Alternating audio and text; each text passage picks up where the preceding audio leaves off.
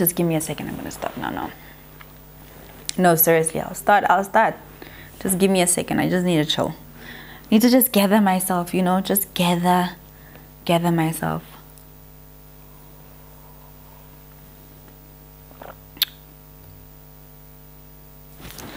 Whoa, whoa.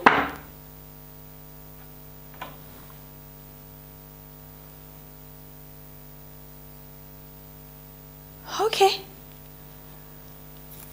Let's get started then, alright? I heard you, I heard you. Hey, gorgeous. I'm gonna try, gonna try,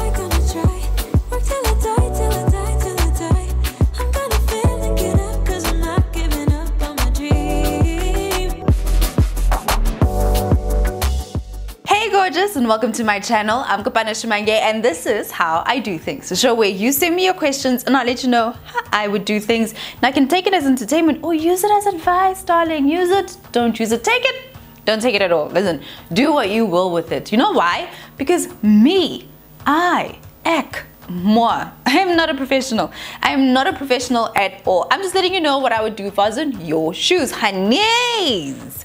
I needed to sit down for this one because I feel like I've been through this. I continue to go through this. In my club, Club She Is, a network for ladies who like to build their own lives and their own incomes and live their lives their way, we deal with imposter syndrome a lot. As a person who coaches thousands of ladies, it's literally something that we go through all the time. Just over and over again, these thoughts that, that, uh, the experience and the success I have, it's by chance. It's by chance. I'm just lucky. I'm just, I'm really lucky to be here. And also, you know, when there's expectations about you and your, your boss says that, oh, you know, she's really good at this, she's really good at that, she's an excellent speaker, her presentations are amazing. You think that number one, you're just like, listen, I don't think I match up to what they say I match up to, or you're just like, mm, he's just flattering me. I'm, I'm just, I'm not that great. I really am not that great. Or you feel as though, you know, the expectation is for you to be such a good speaker and so great at presentations and so good at pitching, but it's all been luck. You have been very lucky thus far. You have no formula to this thing, you have no specific skill to this thing, and come the right project, come the right time, you're gonna stuff things up and they're gonna find out that you know what? She's a fraud. She knows nothing. She's here by chance. That feeling, that feeling that you're not as good as what other people expect you to be or as great as you think you are that what you have produced and what you have done that is all just by sheer luck you are lucky to be here they're gonna catch you out. Right time right place right situation. They're gonna catch you out for what you are. A liar. You're not that good boo. You're not that good. It's a lie. The imposter syndrome is that feeling that you are in the wrong place. You are misplaced. You're not as good as you think you are. You don't match your qualifications. That you're not as brilliant as what people think you are. That you don't really know your job. You look at what you're doing. You look at your position. You look at if you're a manager, you think to yourself that you know you have a team, and you think to yourself, I shouldn't be the one who is leading this. You know, you know all the stuff that is in my job title and my job description. I, I don't think I'm that great. You know, if I'm put to the test, then people are just going to find out that you know what she ain't that great. She's not that good. That's what the imposter syndrome makes us feel like. It makes us feel like we're somewhere we were not supposed to be. That we are playing, we're shooting way above our weight. But babe, you are not where you are by chance. You're not. My dad always told me that. It's like we're not where we are in life by chance. We have been qualified for what we are doing right now. We are there because we have proven ourselves in one way or another to be capable. The imposter syndrome attacks us from all different angles and it shows itself in our lives, specifically in our career lives, in so many ways. So, today I'm going to tell you five ways that the imposter syndrome shows up in our lives, how we can spot it, and what we should do about it. Number one, second guessing yourself. Okay, so the presentation's done. We're going to pitch to somebody new tomorrow, and um, ugh, I'm just not. I'm not sure about this thing. I'm- I, I don't know if it's gonna work. Um, ugh. I don't know. Let, let's just go over it for like two, three more times. Let- you know, maybe somebody else has a better idea. Um, let's let's just ask around. Let's just just just make sure. There's nothing wrong with going over your work, checking over it just to make sure that you've crossed your T's and dotted your I's.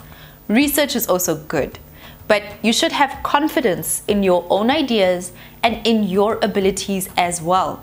You are not where you are by chance. You are not where you are because you are lucky.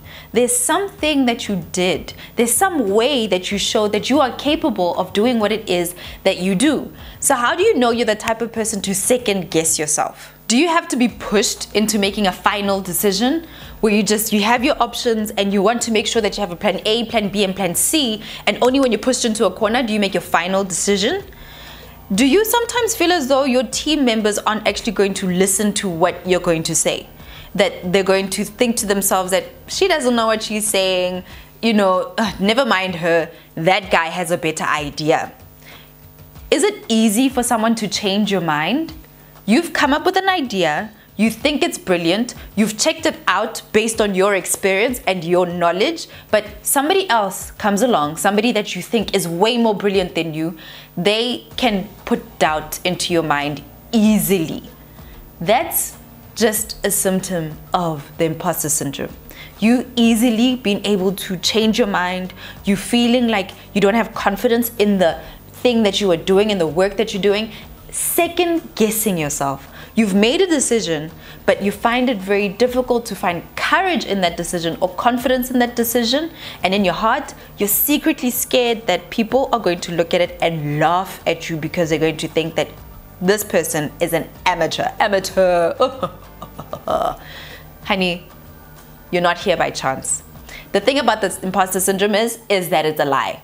It's a long feed, a timeline of lie after lie after lie, and it's all based on fear. And it, yes, it is a real thing. You do feel like an imposter. Inside of you somewhere, there's someone who feels like you are here by chance. And that little voice tends to speak the best way for you to get rid of this nature of second guessing yourself is to always remind yourself that you're not here by chance. Remind yourself of your qualifications, remind yourself of your experience, and remind yourself of the reason why you were there. Even if you don't understand why somebody hired you, Remind yourself of why you wanted to be here because you believe in yourself, because you think that there is something of value that you can give. Never forget that you have amazing value to put into the place where you are. Number two, if ever, oh forbid, if ever somebody asks you a question about your career, about your field of work, about your industry, and you don't know the answer, you feel caught out. Your heart starts racing. You feel as though, oh my gosh, I am an absolute idiot. I am a fraud. What am I doing here? I know nothing. You feel as though you have to be an expert and know everything about the industry that you are in. This makes you feel as though you are lacking in some way, shape, or form because you couldn't answer one question, because you didn't know the answer to a question, or you didn't understand a specific piece of jargon. You know, when somebody's speaking industry language and you didn't understand what exactly were you saying. so this happened to me once. I was on stage and I was speaking about natural hair, and I was a natural hair influencer, specifically natural hair. And a company hired me to speak about natural hair, and somebody in the crowd asked me something, and I was like, "Sorry, what is that?" And there is a moment right there when somebody's asking you about your field of work and you don't know the answer to that and they say something that you don't understand, you start to second guess yourself and you're just like, they were wrong to hire me. I know nothing. I'm actually just the worst decision you could have you should have gotten someone else. I don't clearly I know nothing. No. We're not expected to know everything. Even experts still have to learn and continue to grow themselves and continue to find out new things. How do you know you, you suffer from the expert version of the imposter syndrome? Do you feel like you need to know it all? You need to know every single thing about your industry? Do you sometimes feel like a fraud? You feel scared? You feel embarrassed if you can't answer a question or don't understand a specific term in your industry? When you're applying for jobs, do you sometimes feel like I can't apply for a job unless I am overqualified? So as soon as they mention one thing, on the job description that you've never done before or isn't in your CV, you're just like, I'm underqualified, I could never ever do this job. That is the imposter syndrome, where you feel as though you have to tick every single box, you have to know every single thing, or else you know nothing at all. Do you sometimes lean on knowledge? And if somebody shows you that there's a hole in your knowledge, then it makes you feel like a fraud and it makes you feel inadequate and sometimes incompetent, that is just a symptom of the imposter syndrome. That you feel like you need to be an expert. Not just any expert, but the best expert who knows everything and anything about the field of work that you are in. Honey, it's a lie. You don't have to know everything. An expert is a person who's always open to learning, somebody who understands the industry, and even if new things come along, they're able to break down concepts, understand them, and apply them. That's what makes you a expert. You're able to learn understand, and apply whatever it is that is going on in your industry. If something comes along in your industry, you've never heard of it before, get excited that, ooh, there's something new happening or something that I didn't know that much about. No, I don't know about that, but I will go find out more about it. Or can you tell me more about it? It sounds very interesting. Always keep your cup half empty so that you can always be filled with new information and stay excited about the industry that you're in. Number three, I feel like this one is the ultimate. This is the one that we all suffer from the worst. Everything, you must tick every single box, every single box, or else it's a flop. It's an absolute flop otherwise known as perfectionism. Perfectionism is a form of the imposter syndrome and it's one that is very, very common. How do you know if you're a perfectionist? You're a perfectionist if you feel as though if this thing doesn't tick all the boxes, then it is useless. It's either all right or it is all wrong. That nothing leaves your desk until you feel as though it is 100 percent you feel incompetent inadequate you feel less than if you give over work that you feel as though it is not perfect and guess what a lot of the times you feel like it's not perfect at all. You just feel like your work never meets the mark. That there's a benchmark that you set, and no matter what you do, you always aim for it, but your work is always here. This is a perpetual cycle of feeling bad about yourself, feeling like you haven't done a good job. Being good at your job is about excellence. It's not about perfectionism because your version of perfection is not the same as somebody else's version of perfection. And on top of that, there's no such thing as perfection. So you are chasing an impossibility, which will always make you feel inadequate. So if you feel as though your work does not meet meet the mark, if you feel as though your work is never perfect, Remove that because that is a lie. You are providing value. You are providing the best value as long as you always strive for excellence. Instead of striving for perfection of what you're giving, strive for perfection of timing because there's no point in giving the perfect project at the wrong time. It doesn't count anymore. You've missed your deadline. No one cares about that thing. We've all moved on. Care about timing and giving your best at the right time. Number four is one I suffer from quite a bit.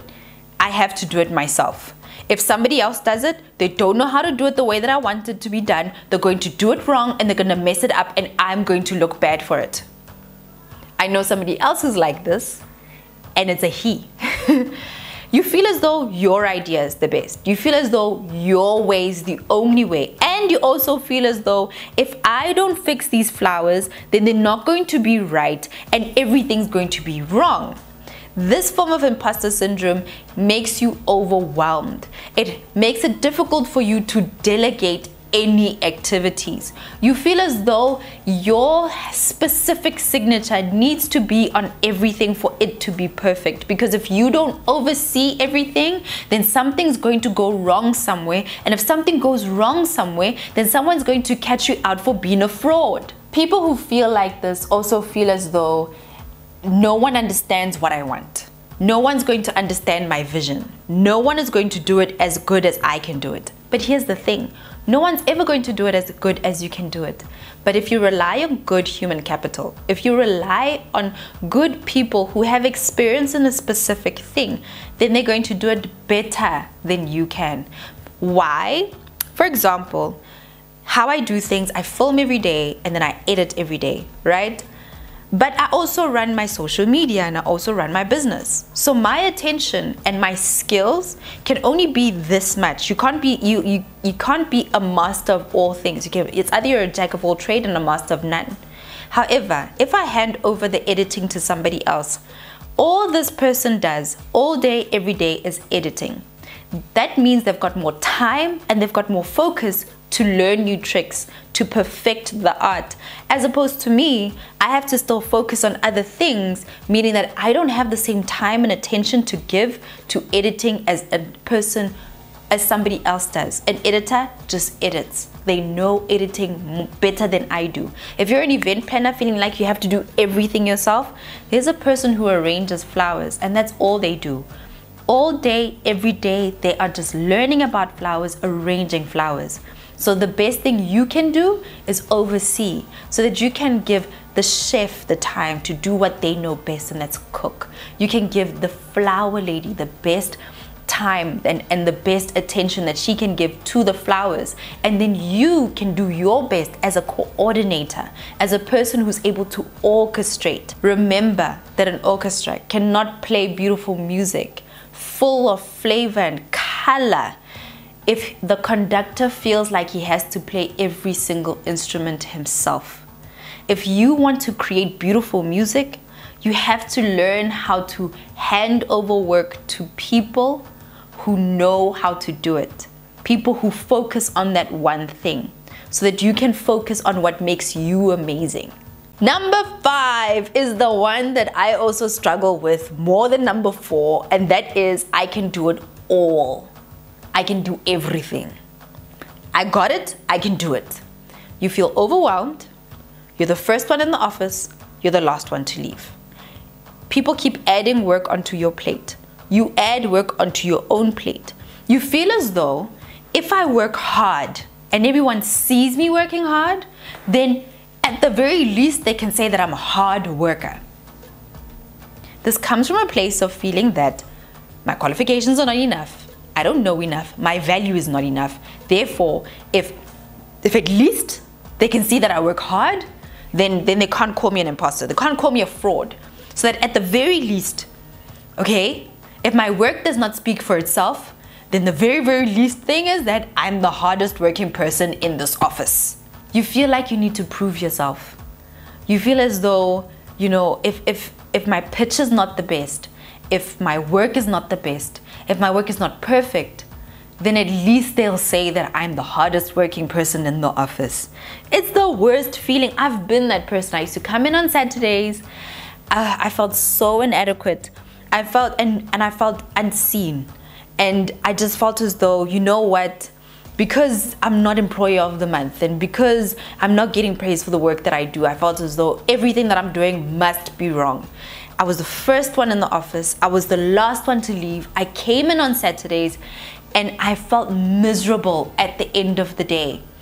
The imposter syndrome and feeling like you have to be the hardest person hardest working person in the room to prove yourself will make you hate a job that you actually love. You don't have to be you don't have to prove to people that you're the hardest working person in the room. Hard work is not a bad thing, but you need to have confidence in your value. We live in a world where you will burn out. You will finish yourself. You will hate your job because you work too hard. There is such a thing. You need to strive to work smart.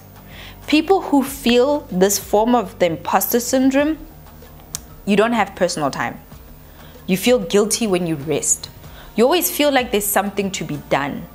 You always go the extra mile. You actually go the extra mile on top of the extra mile. You feel like you have to be the hardest working person in the room, or else everything else is going to fall apart.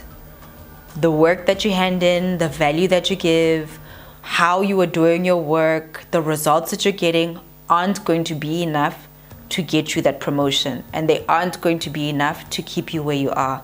They're going to figure you out, girl. You're a fraud. So, at the very least, to secure your position and to continue to secure this bag, you have to keep being the hardest working person in the room. And that's not true.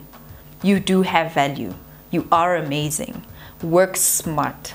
Always think to yourself, am I being smart here? Or am I just trying to be the lowest of the low, working hard and working my fingers to the bone and giving my everything for this company and not even having time for myself, not having time for my hobbies, not having time to read a book? No. Balance it. It's a lie. You don't have to be that person. You are valuable. You are not here by chance. You are here on purpose. You have something valuable to give, and that's why you're here. There's nothing wrong with hard work, but it shouldn't come at the expense of yourself, your health, your personal time, and your well-being. All right, my honeys, that's all I have for you today. I hope that you enjoyed this one. This is all this is for my ambitious ladies, the ones who want to grow, the ones who have a career, the ones who want to keep working towards the top. Remember, the imposter syndrome comes from a place of a lie. It comes from a place that believes that you're inadequate, you don't have enough value, and you know what? They're gonna catch you out because you don't know what the hell you're doing. You know what you're doing. You do have value to give, and you're not here by chance. You're here all on purpose. Hope that you guys enjoyed that one. Please do share this with a friend, with your girl who's just like, honey, you work hard. And I don't want you to ever second guess yourself ever again. Until next time, beautiful people, I'm Kopano Shimange, and this is how I do things. Hey gorgeous, thank you so much for making it to the end of this video and thank you for subscribing. Please don't leave this channel without subscribing and giving this video a big thumbs up and leave me a comment and let me know which one of these five types of imposter syndrome symptoms stood out the most for you. Until next time.